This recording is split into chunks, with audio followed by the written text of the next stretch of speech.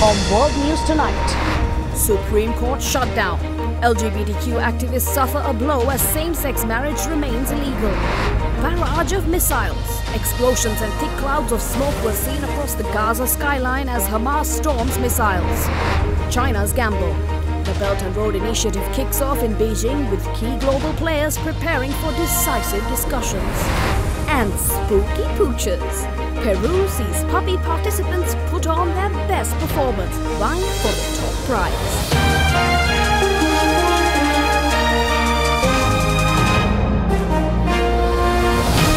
This is Ada Derana World News Tonight. Reporting from Colombo, here is Anuradhi Vikramasinghe. A very good evening and thank you for joining us on World News this Tuesday night. Tonight we begin with a landmark decision made in India's Supreme Court that has potentially impacted approximately 140 million people. India's Supreme Court has declined an appeal to legalize same-sex marriages in a blow for LGBTQ rights in the world's most populous country. A five-judge bench announced the ruling today after hearing arguments in the case between April and May. Chief Justice Dhananjay Yaswant Chandrachud said that it was outside the court's remit to decide that issue and that Parliament should write the laws governing marriage. However, Chandrachud said the state should still provide some legal protections to same-sex couples, arguing that denying them benefits and services granted to heterosexual couples violates their fundamental rights. He added that choosing a life partner is an integral part of choosing one's course of life. Chandrachud said the government should also take steps to ensure that the LGBTQ people will not face discrimination, including by establishing hotlines and safe houses for those who are vulnerable and ending medical procedures that aim to change gender identity or sexual orientation. The court's ruling follows a petition arguing that the failure to re recognize same-sex unions violated LGBTQ people's constitutional rights. India's Bharatiya Janata Party government, led by Prime Minister Narendra Modi, opposed the petition, arguing the issue should be left to Parliament and that the appeal represented an urban and elitist perspective. And moving on to China now, the third Belt and Road Forum for International Cooperation kicks off in Beijing as China seeks to expand its leadership on the global stage amid its rivalry with the US. Russia's Vladimir Putin arrived in Beijing. This is Putin's second known trip since the International Criminal Court issued an arrest warrant for him in March over alleged war crimes in Ukraine. Also, Sri Lankan President Ranil Wickremesinghe arrived in Beijing to attend the Third Belt and Road Forum for International Cooperation, and this is his ninth visit to China. During the two-day event, President Xi will deliver an opening speech as the event marks the 10th anniversary of its key One Belt, One Road initiative, which aims to bolster economic cooperation along the land and sea routes from China to Central Asia and Europe. Some 140 countries are expected to participate, with eyes of a possible summit between President Xi and his Russian counterpart, Vladimir Putin. That will be their second face to face this year, with their solidarity against the U.S. likely to take center stage of their discussions, which could also entail a message on the Israel Hamas conflict. And next in Gwadar, the port city of Pakistan faced a drinking water crisis as citizens announced a complete shutdown to draw attention to the current situation. The water crisis has highlighted the city's incapability to face such essential shortages. The port city of Gwadar in Pakistan is grappling with a severe drinking water shortage, prompting its citizens to declare a complete shutdown to draw attention to the dire situation. The water crisis has brought to light the city's inability to cope with critical shortages despite having access to adequate water resources in the region. For a whole week, the residents of Gwadar have been wrestling with this water crisis and their pleas for assistance appeared to go unanswered. The shutdown strike organized by the Citizen Committee Gwadar resulted in the closure of businesses, shops and banks. This extreme measure was taken as a last resort by a community that felt parched and ignored. The publication revealed that the situation unfolded within the city, even though the region possesses suitable water resources. The Gwadar water crisis stemmed from a dispute between the DG Gwadar Development Authority and public health engineering officials, underscoring the urgency of effective governance and dispute resolution mechanisms. The gravity of the situation is accentuated by the fact that this crisis occurred concurrently with a sit-in in Turbat related to a power supply suspension issue in border areas. Successful negotiations in Turbat, which resulted in a power load shedding schedule and a predetermined monthly bill, could potentially serve as a model for handling such crises more effectively. And now an update on Israel-Hamas war as Hamas fired rockets against Israeli cities of Jerusalem and Tel Aviv. U.S. Secretary of State Antony Blinken, who's on his second Israel trip, had to take shelter during his meeting with the Israeli Prime Minister. Also, the European Union said it would launch a humanitarian air bridge operation consisting of several flights to Egypt, aiming to bring supplies to humanitarian organizations on the ground in Gaza. The cities of Jerusalem and Tel Aviv were under fire on Monday. Rocket alert sirens went off and blasts were heard across the cities. Palestinian militant group Hamas said it fired a barrage of missiles at the cities in response to what it called Israel's targeting of civilians. According to the Washington Post, at least 1,400 people have been killed and over 4,000 injured in Israel, while nearly 2,800 people have been killed and nearly 10,000 wounded in Gaza since a surprise attack by Hamas on Israel sparked new fighting in the region on October 7th. Also on Monday, people gathered at the Rafah crossing on the Gaza Egypt border following reports that it would be reopened during a brief ceasefire. The crossing has been shut for security reasons since Hamas took control of Gaza in 2007. If the border were to open, Gazans with dual citizenship could leave the territory, and humanitarian aid now waiting on the Egyptian side could enter. However, both Israel and Hamas have denied reports of reopening, exacerbating an already desperate humanitarian crisis. Amid the deepening crisis in Gaza, the U.S. is ramping up its diplomatic efforts. President Joe Biden is set to visit Israel on Wednesday as the country has agreed with Israel to come up with a plan to let humanitarian aid into Gaza. But the critical reopening of the Rafah crossing remains unclear. U.S. President Joe Biden will visit Israel to reaffirm solidarity. That is according to U.S. Secretary of State Antony Blinken on Tuesday, following an overnight meeting with Israeli Prime Minister Benjamin Netanyahu and Israel's war cabinet members in Tel Aviv on Monday. On Wednesday, President Biden will visit Israel. He's coming here at a critical moment for Israel, for the region, and for the world. The President will reaffirm the United States' solidarity with Israel and our ironclad commitment to its security. Biden's scheduled meeting comes as Israel prepares for a ground offensive against Hamas in Gaza. Blinken also said the U.S. and Israel are set to work together to provide humanitarian aid to civilians in need. The United States and Israel have agreed to develop a plan that will enable humanitarian aid from donor nations and multilateral organizations to reach civilians in Gaza.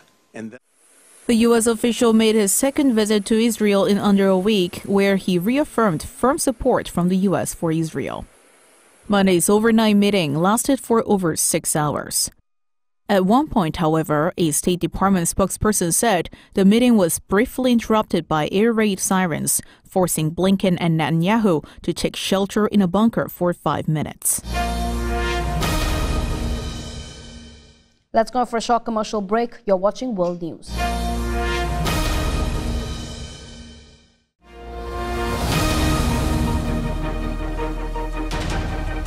Welcome back.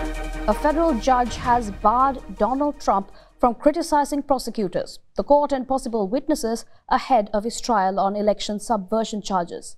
It follows recent remarks in which the former president slammed prosecutors as a team of thugs and attacked one witness in the case as a gutless pig. A federal judge on Monday barred Donald Trump from verbally attacking those involved in a criminal case that accuses him of trying to overturn his 2020 election loss. That includes U.S. prosecutors, court staff, and potential witnesses. U.S. District Judge Tanya Chutkan pointed to disparaging social media posts and said she would not allow Trump to, quote, launch a pre trial smear campaign. While speaking at a campaign rally in Iowa, the former U.S. president, who has pleaded not guilty, vowed to appeal the judge's order. Today, a judge put on a gag order.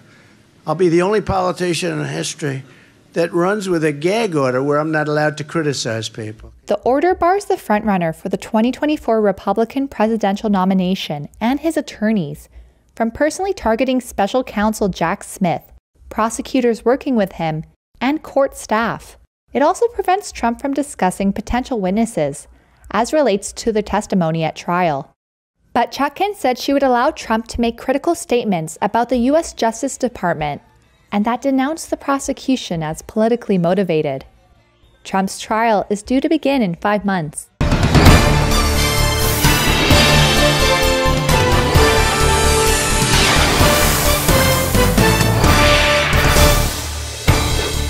Moving on to the road to the White House now. Governor Ron DeSantis of Florida rejected criticism from Republican presidential rival Nikki Haley of remarks he made about Palestinians over the weekend.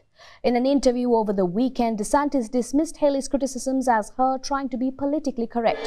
At a campaign event in Iowa, DeSantis said that the U.S. should not accept any refugees from Gaza and that the Palestinians in Gaza are all anti-Semitic. Haley, a former governor of South Carolina who also served as UN ambassador in the Trump administration, said that half of Palestinians don't want to be governed by Hamas. When confronted about the remarks and Haley's rebuke, DeSantis said he was simply defending the truth and pointed to efforts by Hamas to teach the kids to hate Jews.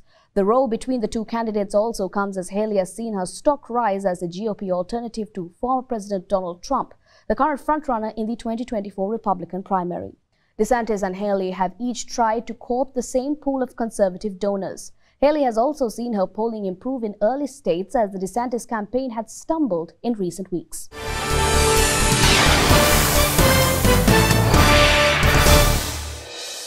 Climate change is affecting navigation on the Amazon River, where a severe drought is disrupting barrage traffic on the Tapajos River in the Amazon rainforest.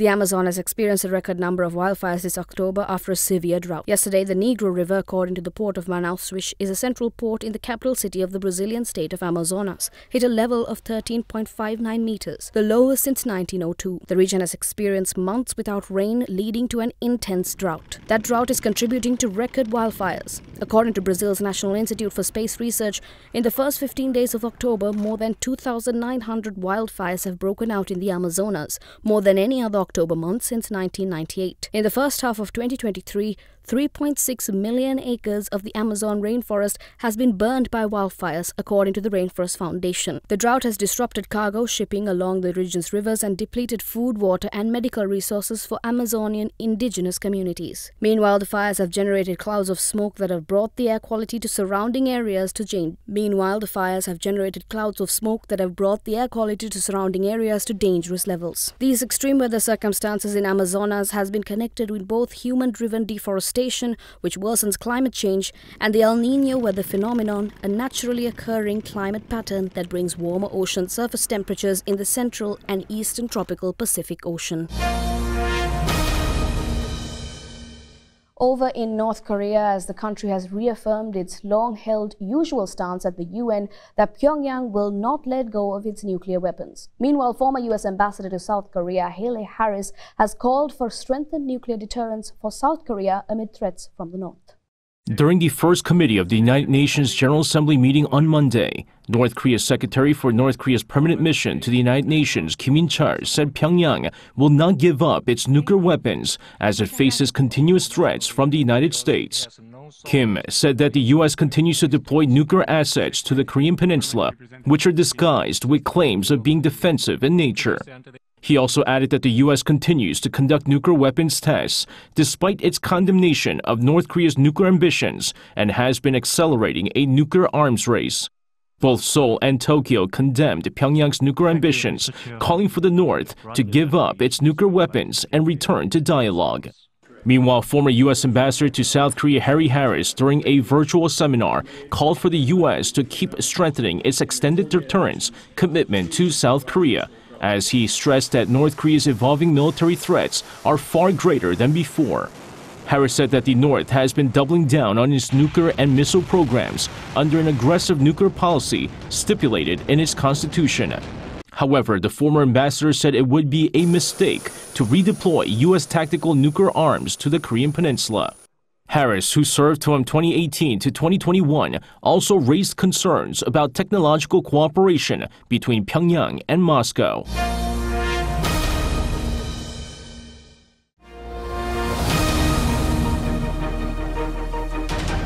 Welcome back. Two Swedish citizens killed in a shooting in Brussels. For more on that story and much more, let's take you around the world. Swedish citizens have been killed in a shooting by a gunman still at large. The incident occurred yesterday evening ahead of a football match between Belgium and Sweden. Russia has started banning imports of all fish and seafood from Japan over Fukushima wastewater concerns. This is a precautionary measure until comprehensive information confirms the safety of the seafood. Capitol Hill is on day 13 now without a Speaker of the House. Jim Jordan has now been nominated. The House is expected to hold votes to elect the next Speaker soon. Business heir Daniel Noboa won Ecuador's presidential election, vowing to rebuild the South American country, which is struggling with a weak economy and rising crime and violence. Italy's tax police said that 58 people had been arrested in Italy and Spain on suspicion of international drug trafficking and money laundering and fraud.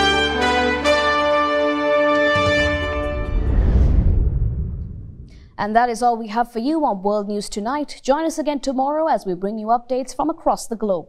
If you missed any of today's programs, you can always rewatch by catching us on our YouTube channel, youtube.com slash English. We are leaving you tonight in Peru as dog owners in the Peruvian capital Lima dress their pets up to take part in an annual Halloween costume contest. Thank you for watching. Have a great night.